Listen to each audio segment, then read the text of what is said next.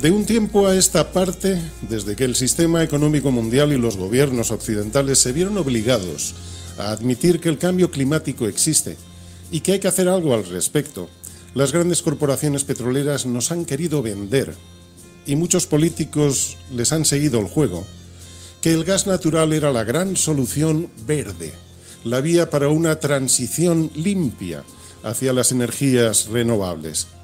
Si uno escribe en el navegador gas natural licuado y ecológico, se encontrará con titulares como, y cito textualmente, el gas natural, un combustible alternativo ecológico, un combustible alternativo en tiempos de fiscalidad verde. El gas natural licuado destaca como energía limpia y respetuosa con el medio ambiente. El gas, un combustible ecológico y económico. Pero como veremos al final de este espacio, todo esto forma parte de una gran ofensiva financiera por parte de las grandes corporaciones petroleras que, viendo que el negocio se les acababa, han intentado exprimir hasta la última gota su más novedosa forma extractiva. Se trata de una tecnología tan contaminante y peligrosa como costosa de producir, a menos que ese exceso de coste de la energía lo pague la población, eh, claro está. En definitiva, nos encontramos ante una operación especulativa. Como señala el doctor José Luis eh, Simón eh, Gómez, catedrático de Geología de la Universidad de Zaragoza, cada vez está más demostrado, por lo menos en mi opinión, de que el tema del fracking, al menos en Europa, también en Estados Unidos en alguna medida, pero cada día más y sobre todo en Europa, es una operación especulativa con letras mayúsculas. Entonces, como tal operación especulativa, lo que le interesa es crear expectativas, sean verdaderas o sean falsas.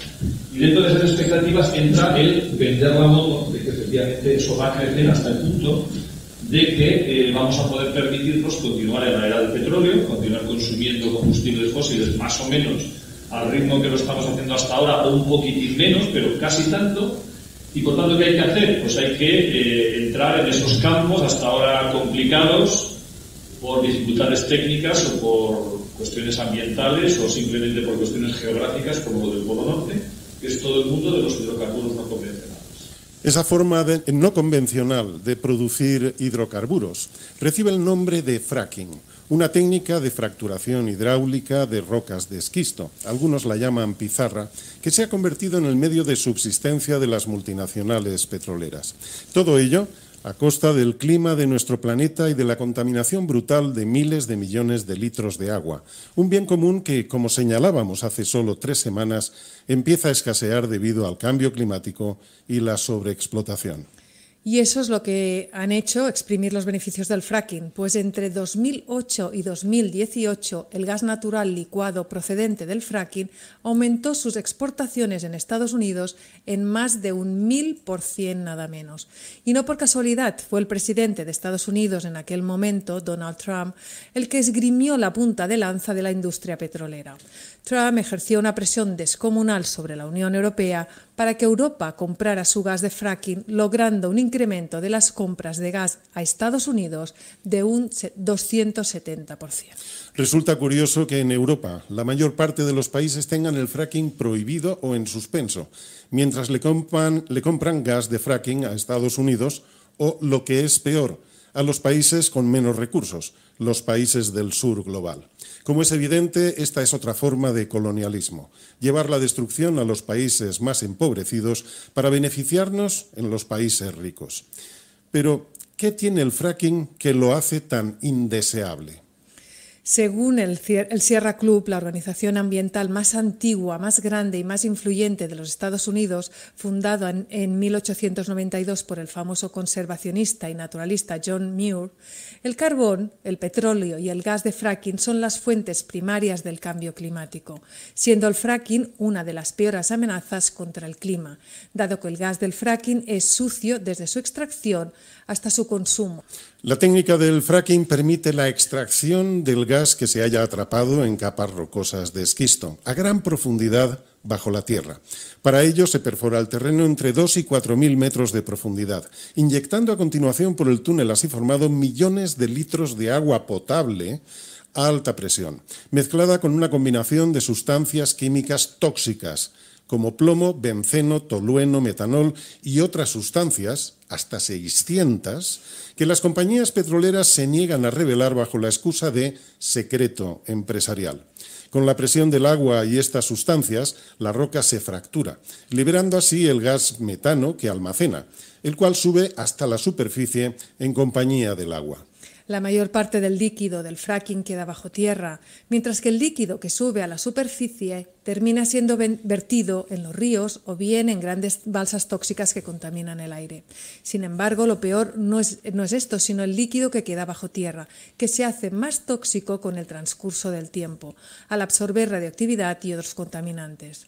Esas enormes cargas de veneno terminan filtrándose en los acuíferos de la región. Por otra parte, una gran cantidad de gas metano se escapa a la atmósfera al salir el agua a alta presión. Lo significativo de esto es que las compañías petroleras no quieren decir cuánto metano estiman que escapa a la atmósfera. Pero según el Sierra Club, en las perforaciones de fracking de Dakota del Norte, el metano que escapa y que se quema masivamente en las torres es visible desde el espacio nada menos. Y tengamos en cuenta que el metano es, a corto plazo, aún peor que el dióxido de carbono para el calentamiento global, pues tiene 67 veces más poder para calentar el planeta que el dióxido de carbono en un plazo de 20 años. Todo esto convierte a los combustibles del fracking, según los expertos, en combustibles tan nocivos para el cambio climático como el carbón.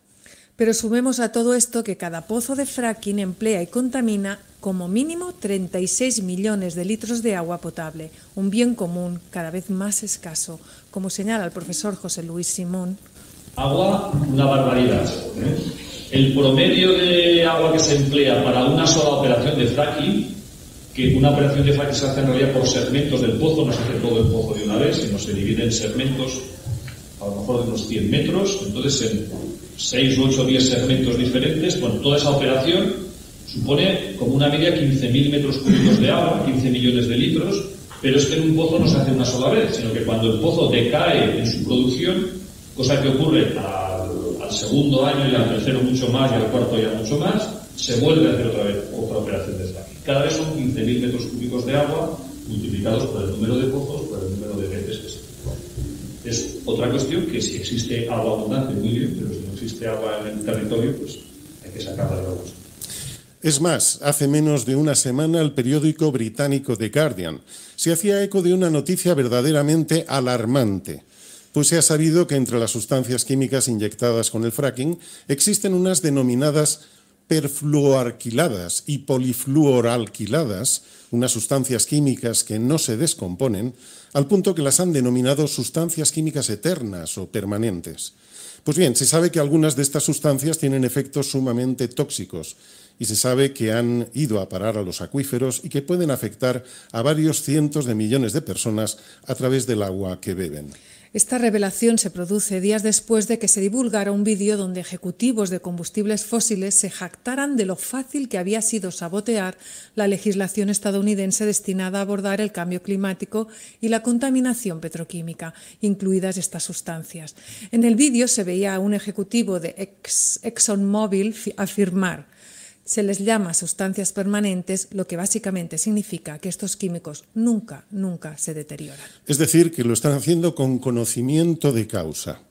Quizás estas sustancias tengan mucho que ver con la contaminación del aire y del agua que genera el fracking y que está provocando enfermedades respiratorias y nerviosas, anomalías en el esperma, menor crecimiento fetal, trastornos cardiovasculares e incluso cáncer.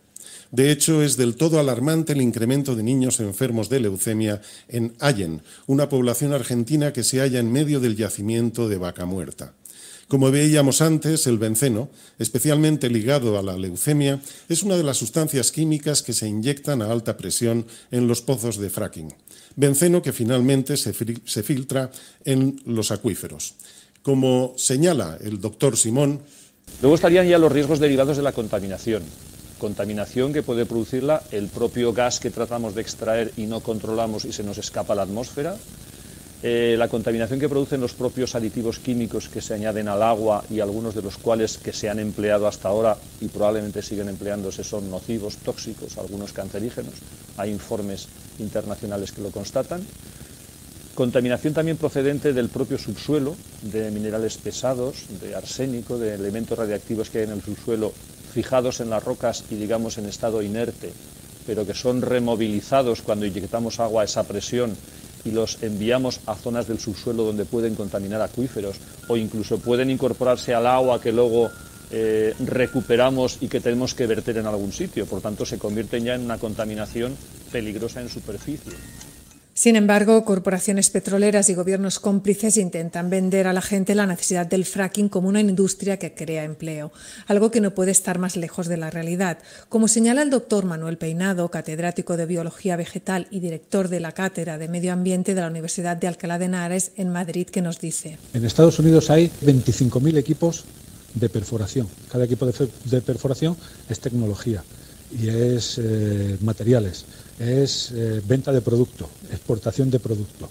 Entonces ellos están empeñados en ese excedente que tienen de tecnología, exportarlo a todo el mundo. Y se engaña a la gente de los pueblos, a la gente de los núcleos rurales españoles, se les engaña diciendo que el fracking crea empleo. El fracking no crea empleo.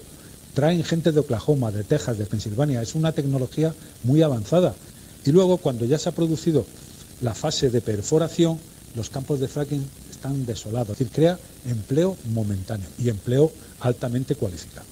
Y abunda en ello el profesor Simón. En el caso de España, ni los, ni los beneficios que, eh, digamos, que consiguen las empresas de hidrocarburos ni las empresas mineras revierten nada eh, ni a los municipios, ni a las comunidades autónomas, ni al Estado, porque deja exclusivamente todo el beneficio para la empresa.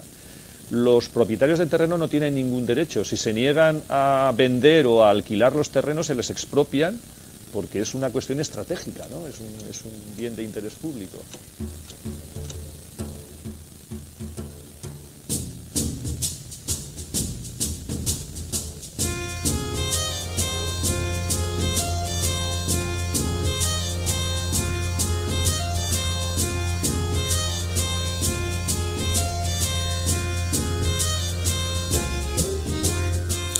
Como vemos, esto es lo que dicen los expertos en el caso de España. ¿Qué no ocurrirá en el delta del Okavango, en Botsuana, o en el yacimiento de Vaca Muerta, en Argentina, o en lo que se pretende realizar en el río Magdalena Medio, en Colombia?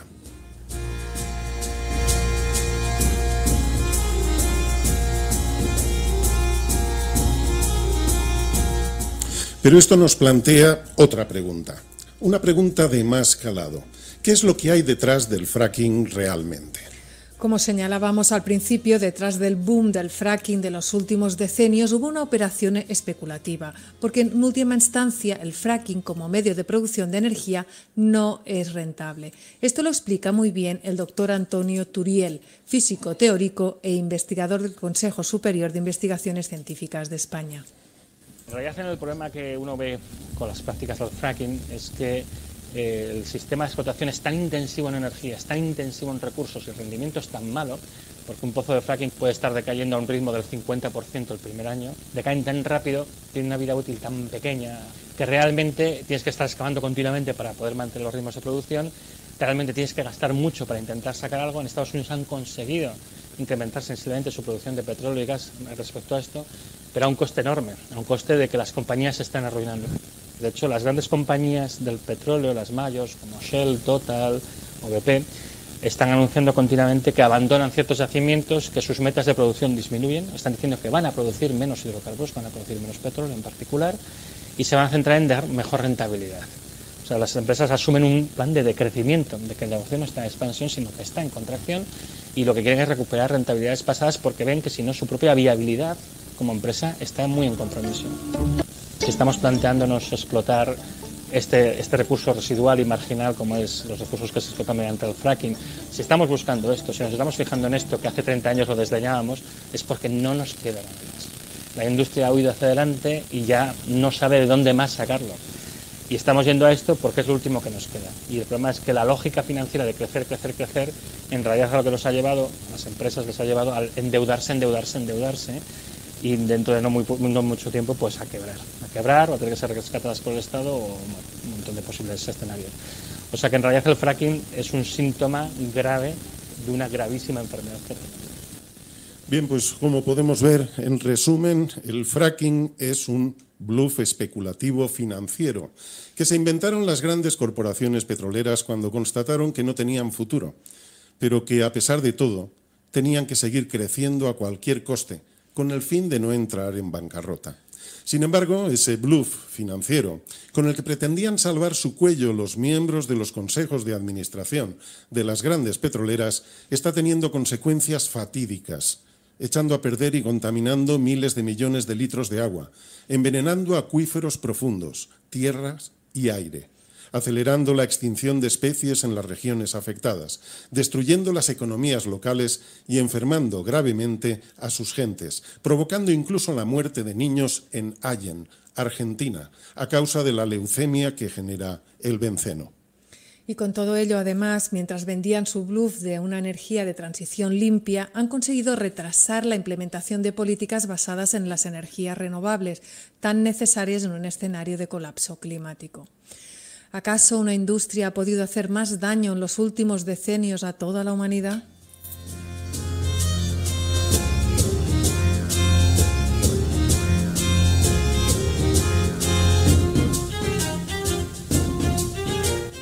Ah, y se me olvidaba, una apostilla para nuestra audiencia de España.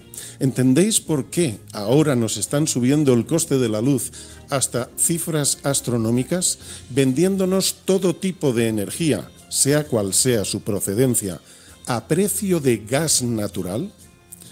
Atad cabos.